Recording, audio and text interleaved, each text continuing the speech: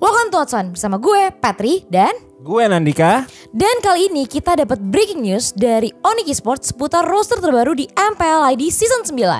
Di mana roster terbaru yang resmi diumumkan oleh Onyx Esports ini ada Boots, Ada cewek, ada Suns, ada ada Sirfit Lance, ada Keyboy, ada Fior, ada Mars, ada Aldo. dan ada Andi Pohan sebagai manajer. Wah, ada Fior Pet. Iya, keren banget gak?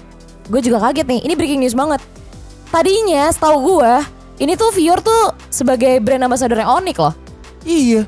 Dan ternyata dia harus masuk ke roster MPL-nya si Onyx ini sendiri. Waduh, berarti dia perempuan satu-satunya di Pet. Perempuan satu-satunya. Nah kalau menurut lu sendiri nih, eh dia bakal megang role apa nih? Wah, ini bisa jadi roamer atau dia bisa jadi mungkin mungkin bisa jadi ya. Kalau misalkan di Fior masuk Onyx, Ya, kan berarti Drian nggak masuk dong. Ini nggak ada di list dong Drian. iya. Bisa jadi gantiin role-nya Drian. Iya nggak sih?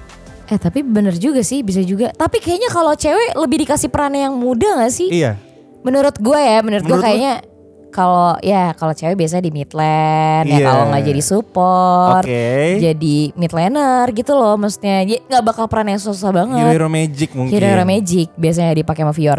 Tapi yang gue bingung, nggak, nggak bukan bingung. Ini sebuah pertanyaan besar. Kenapa? Hmm. Karena dia akan bertemu sama pacarnya sendiri. Wah, Evos Rek. Wah, ini berat, ini berat. berat, berat, berat, berat, berat, Di mana? Menurut gue Nan, Iya. dia bakal mengalah atau pacarnya yang bakal mengalah? Wah, tapi nih kalau gue ngelihat satu orang perempuan di satu tim yang laki-laki semua, mungkin dia bisa jadi salah satu sorotan baru, Pet.